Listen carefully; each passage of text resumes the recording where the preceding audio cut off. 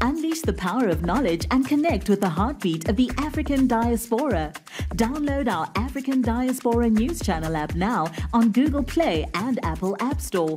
Stay informed with authentic and diverse perspectives, breaking news, and cultural insights. Immerse yourself in a community that celebrates unity, resilience, and progress. Experience the vibrancy of the diaspora at your fingertips. Don't miss out. Empower your perspective today. Search African Diaspora News Channel and join the conversation. The unemployment wave hits the shores of the medical field. Hello, my name is Reneilwe Morema, and I am your host right here on the African Diaspora News Channel, reporting live from South Africa, Johannesburg.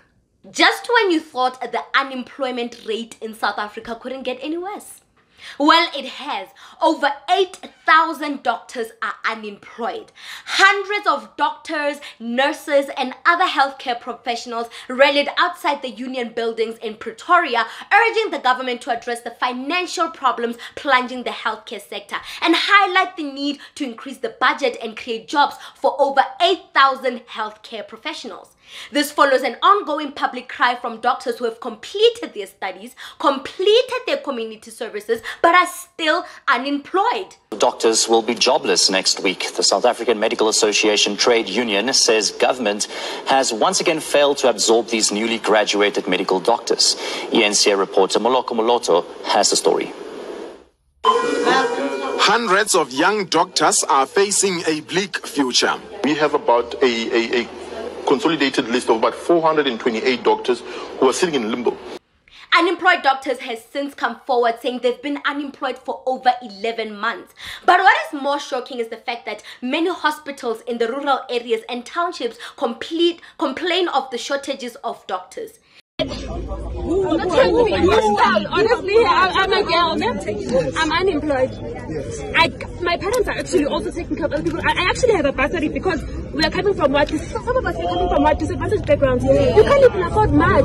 So now what am I going to do? I go back home. I don't even. I can't even buy something as simple as a toothbrush. I understand, and I'm saying there is a commitment. I think you do. We're, make, we're making a commitment here. We'll finalize the contract with KwaZulu Natal by the end of the year. That's it. That's it. That's it. You've been with hearing that from the beginning of the year. And I applied, and from the beginning of the year, you've been giving us, you've been asking that, you've been making us promises. From Au- August, you said there was gonna be an exam, and then you use, and then you guys said September, and then from September you said October. Now you're telling us December. And how many? How are we supposed to believe that? How many of us here saying that? The city of KwaZulu Natal was not meeting our requirements. Then now how is it meeting your requirements? That's why now we have to get what is called a deviation. Some have resorted to rehiring pensioned doctors to work for less than their minimum wages.